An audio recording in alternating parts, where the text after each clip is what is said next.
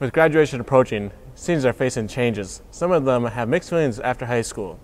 So we talked to them to see how they felt in January. In January, I wasn't quite ready to graduate. I really, I love my family, so I love being here with them, and I wasn't quite ready to be on my own.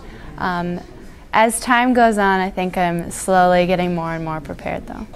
Well, I was focused on wrestling. I wasn't really thinking about it, but I'm just getting to the point where I just wanted to be done. In January, I was really excited to graduate. I couldn't wait to get out of here and start my own thing. Didn't really care, kind of was just taking it day by day, just getting through the classes.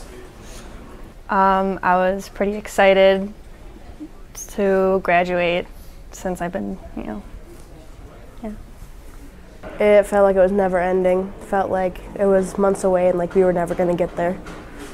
Uh, I don't know, I felt pretty unprepared and really scared to have to be on my own after graduation.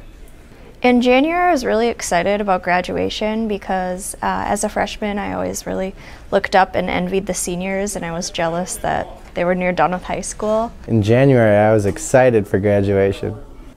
And this is how they feel now. I'm excited for graduation. Getting a lot more excited for it, seeing it there in the distance. It's like, oh, hey, yay, I'm finally done. Now that graduation is almost here, I'm like super freaked out.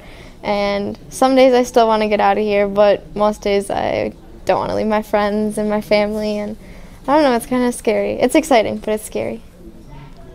Feels excited. After four years, I'm, we're all ready to be done. Well, I'm excited. I can't wait to get out of here. I'm tired of people. With graduation coming really soon, I feel I feel more nervous and um, I don't know, a little apprehensive about deciding where my future is going to be.